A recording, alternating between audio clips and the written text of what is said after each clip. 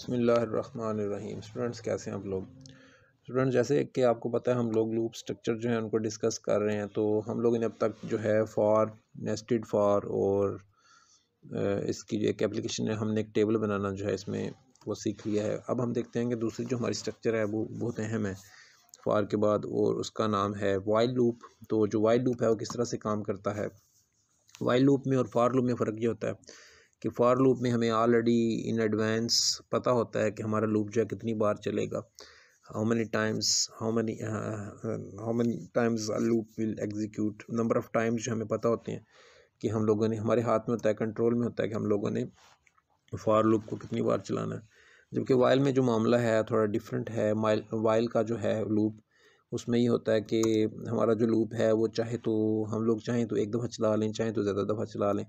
ठीक है? तो इस तरह से ये लूप डिफरेंट है थोड़ा सा अभी हम लोग इसकी डेमोस्ट्रेशन करते हैं। हम सबसे पहले लिखने का तरीका ये कि वाइल लिखते हैं। वाइल की पैरेंथेसिस के अंदर हम लोग, इसकी जो कंडीशन है वो देते हैं कि हमारा जो आई है, जो हमारा काउंटर वेरिएबल है लेस देन फाइव यानी पाँच दफ़ा तक चलना चाहिए लूप। उसके बाद, उसकी बॉडी के अंदर हम लिखते हैं सी आउट सी आउट के बाद हम लिखते हैं, ठीक है जी यू जी लिखते हैं। बैक स्लैश एन बी दे देते हैं। ताकि हमारा जो लूप है, हर बारी एग्जीक्यूट करने के बाद। अब इसमें थोड़ा सा फ़र्क ये होता है कि हमारा जो स्टेप वेरिएबल है, जो आई आई का जो स्टेप है, वो हम लोग इसकी जो कंडीशन के अंदर नहीं देते, बल्कि बॉडी के अंदर देते हैं। तो इसलिए हम यहाँ पे आई प्लस प्लस करेंगे। आपको पता है कि अगर हम लोग आई प्लस प्लस नहीं करते तो हमारा लूप जो है, वो इनफाइनाइट हो जाएगा। या कोई और प्रॉब्लम आ जाता है इसके अंदर। तो इस, अब ये होगा कि हमारा जो लूप है वो मतलब कि पाँच दफ़ा चलेगा, हर बार लूप के अंदर से उसको इंक्रीमेंट किया जाएगा। एक बारी चलने के बाद दूसरी जो है उसके अंदर से लूप वेरिएबल को इंक्रीमेंट किया जाएगा। लेकिन एक गलती जो हम करने जा रहे हैं वो ये है कि हमारा जो लूप है, उसकी जो स्टार्टिंग वैल्यू है हमने वो मेंशन नहीं की। तो अगर हम स्टार्टिंग वैल्यू मेंशन ना करें तो आई जो है वो उसकी बाय डिफ़ॉल्ट ज़ीरो वैल्यू होती है। इसलिए इसको हम ज़ीरो की बजाय वन कर देते हैं ताकि जो हमारा लूप है वह वन से स्टार्ट हो। और अगर आप लोग प्रिंट करेंगे यहाँ पे वैल्यू तो वो आई की वैल्यू ज़ीरो से स्टार्ट हो रही है बाई डिफ़ॉल्ट लेकिन अगर हम लोग इसको इनिशलाइज कर देंगे तो इससे ये होगा कि आई का जो वेरिएबल है वो वन से स्टार्ट होगा। तो ये हम मैंने कंपाइल किया और ये मैंने किया रन तो आप देख सकते हैं कि लूप चलते ही पाँच बार जो है एक फ्रेज़ यू जी लिखा गया है। लेकिन फ़र्क ये है कि अब हमें पता नहीं चल, चलेगा कि ये जो हमने वाइल चलाया है या फॉर चलाया है तो इसका हमें कैसे अंदाज़ा होगा कि इन दोनों में क्या फ़र्क है? तो उसका जो फ़र्क है, उसको वाजे करने के लिए हम एक और एग्ज़ाम्पल करेंगे, ठीक है? तो वो एग्ज़ाम्पल जो है, वो हमें क्लियरली बताएगी, हमें पता चलेगा कि फार में और वाइल में क्या फ़र्क होता है। लेकिन फ़िलहाल इसका सिंटेक्स समझ समझने की ज़रूरत है कि हम लोग वाइल की जो कंडीशन है, उसके अंदर एंडिंग वैल्यू देते हैं कि जो हमारा लूप है, वो कितनी बार चलेगा, ठीक है? उसके बाद जो है, ये जो है जब तक कि आई की वैल्यू पाँच नहीं हो जाती, लूप चलेगा। और इसकी बॉडी के अंदर हम क्या करते हैं, आई को इंक्रीमेंट कर रहे हैं, ठीक है? तो जब लूप की हम लोग स्टार्टिंग करते हैं तो आप देख सकते हैं कि यहाँ पे कोई सेमी कोलन नहीं है। बॉडी के अंदर जो है इंस्ट्रक्शन में सेमी कोलन आता है। तो इसके बाद जो लूप की बॉडी स्टार्ट होती है, ब्लॉक स्टार्ट होता है। और उसके बाद लूप का ब्लॉक एंड होता है, लेकिन जो लूप की कंडीशन है, उसके साथ हमें कोई सेमी कोलन देने की ज़रूरत नहीं है।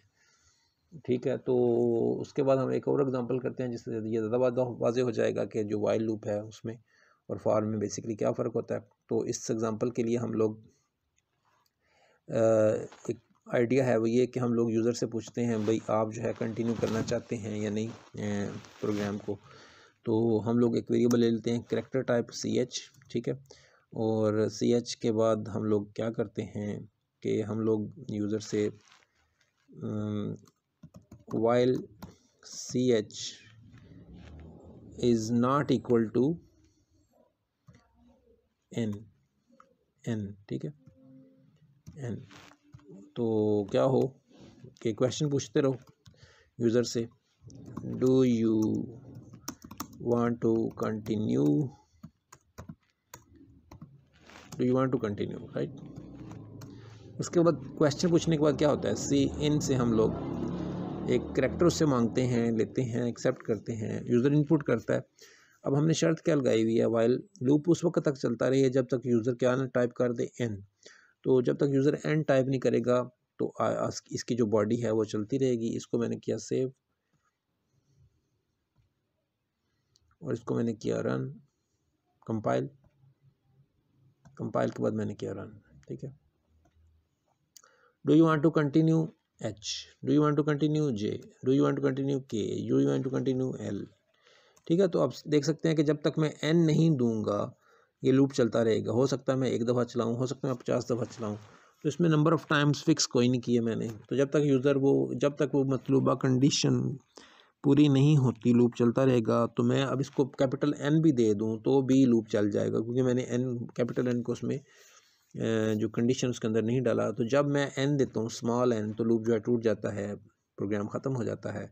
तो इस तरह से ये जो वाइल है वाइल काम तो अब हम अपने वाइल को एक थोड़ी सी चेंज करते हैं डिफरेंट एग्जांपल लेते हैं। तो उस एग्जांपल में हम ये करते हैं कि लूप से बाहर हम एक क्वेश्चन करते हैं यूज़र से कि जो है do you want to continue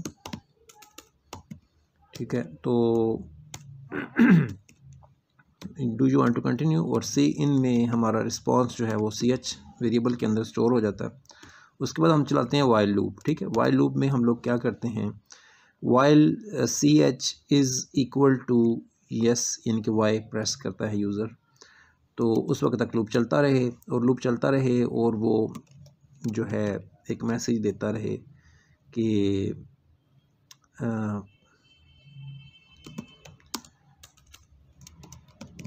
Pakistan, ठीक है? वैक्सीनेशन मैसेज प्रिंट करने के बाद वो क्वेश्चन दोबारा से पूछता है, ठीक है? लूप के अंदर क्वेश्चन पूछता है।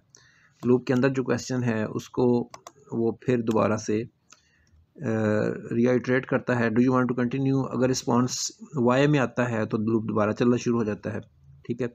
अगर रिस्पांस वाई में नहीं आएगा वाई अदर देन वाई कोई भी लेटर आप देंगे देन लूप विल ब्रेक तो हम लोग चेक करते हैं इसको। इसमें एक दो चीज़ें जो हैं नोट करने वाली हैं उसके ऊपर भी अभी हम लोग बात करेंगे। तो execute compile and then execute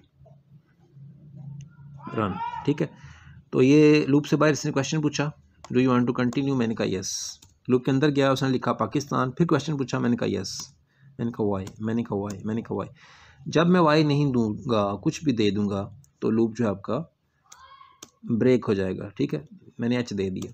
loop ख़त्म, बात ख़त्म, ठीक है? उसके बाद यह प्रोग्राम क्लोज़ हो जाता है। अब देखें इसमें जो नोट करने वाली चीज़ है ना, हमने यहाँ पे जो दिया है C H is equal to Y यहाँ पे डबल इक्वल साइन दिया है। तो जैसे कि अब हम लोग पढ़ चुके हैं कि अगर हम यहाँ पे सिंगल दे देंगे इट मींस सी एच को असाइन कर दो वाई एलोकेट कर दो तो असाइनमेंट ऑपरेटर की बजाय हम लोग डबल इक्वल साइन यूज़ करेंगे।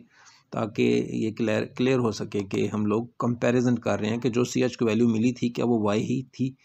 ठीक है, उसके बाद लूप के अंदर भी यही मामला है कि हम लोग इसको तो वाइल लूप जो है, इस तरह से हम लोग दो तीन एग्जांपल्स के थ्रू हमने देखा कि वाइल लूप उस वक्त तक चलता रहता जब तक एक एक ख़ास कंडीशन जो है, वो मैट नहीं होती तो इसमें नंबर ऑफ़ टाइम्स फिक्स को इतने ज़्यादा मैटर नहीं करते फॉर की तरह।